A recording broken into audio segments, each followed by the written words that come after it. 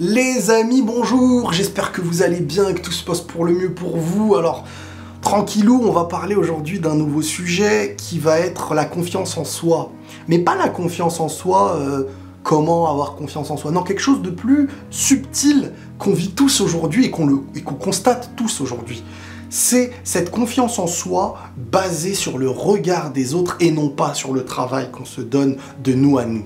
Il est hyper important de savoir que la confiance en soi, c'est quelque chose qui, pour la travailler, pour évoluer, c'est dans ce qu'on va réussir à se prouver à soi-même. Parce que la confiance, le manque de confiance en soi, c'est penser ne pas être capable, ne pas. Donc, c'est s'empêcher les pas vers l'avant. Alors que réussir à comprendre qu'on peut faire ces pas, que ce soit pouvoir parler en public, être entendu, être intelligent, être conscient, échanger, donner ses arguments. Il faut se prouver à soi-même qu'on est capable de le faire. Le problème numéro un aujourd'hui, et c'est cet aspect que j'ai envie d'évoquer en vidéo aujourd'hui, c'est que on cherche pas à se prouver des choses à nous-mêmes, on met ça de côté et on va chercher, grâce aux réseaux sociaux, les stories, les photos retouchées, etc., que les gens fassent ce travail à notre place, à travers l'idée d'être suivi par du monde, d'être liké, d'être complimenté pour des choses qui ne sont même pas nous-mêmes, on s'invente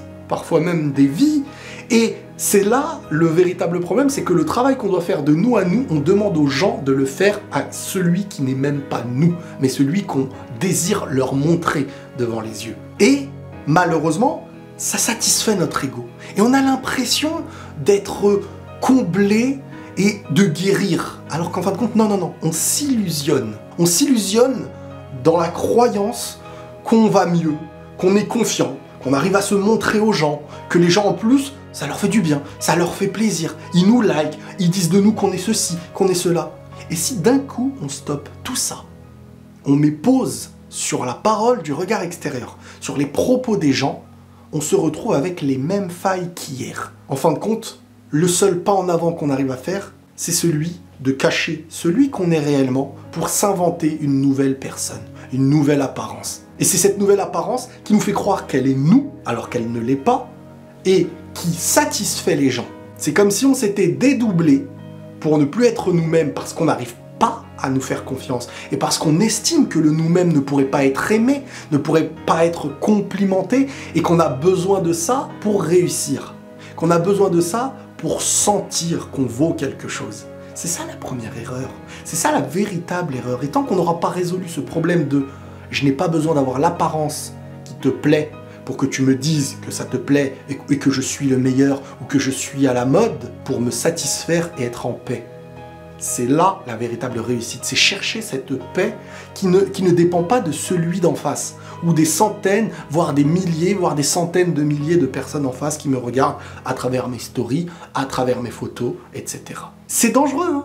Et je vous garantis qu'on a toujours du mal à croire que ce que les gens vantent dans les réseaux, ce n'est pas nous, parce qu'il y a beaucoup de difficultés à présenter celui qu'on est réellement, et au final, on se ment à nous-mêmes, encore une fois, encore une nouvelle fois, on se met de côté et on crée quelque chose pour prendre la gloire, entre guillemets, de cette chose qui n'est pas nous. C'est très dangereux et ça ne résout rien au final. Au contraire, on devient admiratif d'une vie qui n'est pas la nôtre, d'une situation qui plaît mais qui n'est pas nous. Et ça donne quoi au final? Tu rencontres des gens qui te rencontrent véritablement. Et ces personnes-là seront devant qui? Tu vas devoir te retoucher même en vrai? Tu vas devoir jouer le jeu même en vrai. Il n'y a rien de plus épanouissant, rien de plus nourrissant que d'être reconnu par celui qu'on est réellement. Mais attention, celui qu'on est réellement, ce n'est pas vous devez prendre mes failles et vous taire. Mes défauts, c'est ça et je m'en fous. Non, non, non. Si j'ai travaillé avec moi-même, si je me suis prouvé dans mes failles que j'étais capable de ça, peut-être un peu moins capable de ça, mais je travaille pour. Et celui qui est face à moi, il me connaît avec mes qualités et mes faiblesses. Et le problème de nos réseaux aujourd'hui qui vendent le rêve de tout est parfait, de tout est beau, de tout est retouché, c'est que celui qui regarde n'arrive plus à regarder la réalité. Il la trouve laide, la réalité. Prenez tous soin de vous les amis, et la paix sur vous.